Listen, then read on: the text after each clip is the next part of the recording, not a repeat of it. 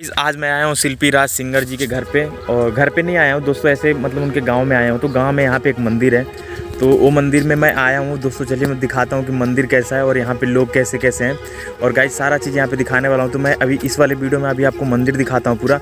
और second video में इनके मतलब यहाँ पर मैं इंटरव्यू लेने वाला हूँ कि मतलब यहाँ पे मतलब क्या सेकंड वाले वीडियो में यहाँ पे लोगों का भी इंटरव्यू लूँगा और वो भी मैं इंटरव्यू में दिखाऊँगा कि मतलब शिल्पी राज का मतलब बॉयफ्रेंड कौन था और वो शादी कहाँ पे करने वाली, सारा चीज़ बताऊँगा। तो दोस्तों सेकंड वीडियो भी देखिएगा। इस वीडियो को देखिए कि यहाँ पे एक मंदिर है फुलेश्वर नाथ का। वो मैं पूरा दिखाने वाला हूँ। तो आप पूरा ब्लॉग में एंड तक बन रहे और देखते हैं क्योंकि यहाँ पे ये साइड में किनारे किनारे यहाँ पे मतलब पूरा फ़ोटो लगा हुआ है। यहाँ पे देख सकते हो कि पौधे पौधे का यहाँ पे पेड़ है।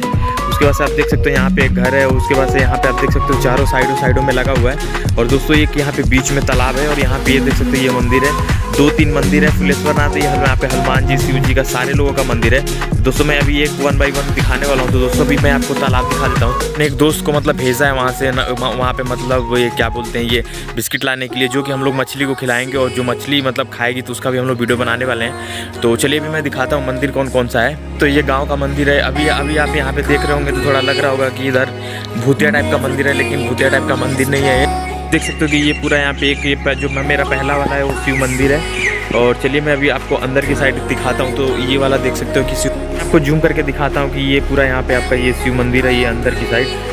ये यहाँ पे आप देख सकते हो, ये वाला शिव मंदिर है। और चलिए, आपको दूसरा वाला दिखाता हूँ। दूसरा वाला ये संकट मोचन मंदिर है, हनुमान जी का। चलिए, ये वाला भी मैं आपको दिखा देता हूँ। तो देख सकते हो कि ये जो है संकट मोचन मंदिर है हनुमान जी का है। तो एक दो शिव मंदिर था और ये हनुमान जी का मंदिर चलिए, मैं दिखाता हूँ श्रीकाल भै भैकनाथ मंदिर। गाइस, देख सकते हो कि ये बाबा भैरव है तो मैं भैक पढ़ रहा था तो ये बाबा भैरवनाथ का मंदिर है। और ये, चलिए, अभी मैं नेक्स्ट वाला मंदिर दिखाता हूँ, आपको कौन सा मंदिर है वो। देख सकते हो कि ये माँ दुर्गा जी का मंदिर है और यहाँ पे मैं आपको दिखा देता हूँ कि यहाँ पे ये है। अभी ये फ़िलहाल बंद है। अभी ये सुबह में मंदिर खुलता है और शाम के टाइम अभी दोपहर में बंद हो जाता है। देख सकते हो, ये यहाँ पे राम जानकी जी का मंदिर है और ये वाला मंदिर जो है, ये अयोध्या जी में भी बन रहा है। अभी मैं यहाँ- पे बिहार मतलब भाटपा रानी बिहार के पास हूँ।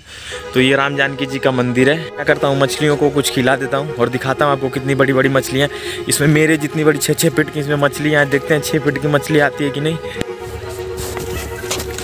ये मैं तो दिखते नहीं खे दे। बड़ा मछली बुलाओ थोड़ा। हाँ? मछलियाँ कहाँ वाली सन?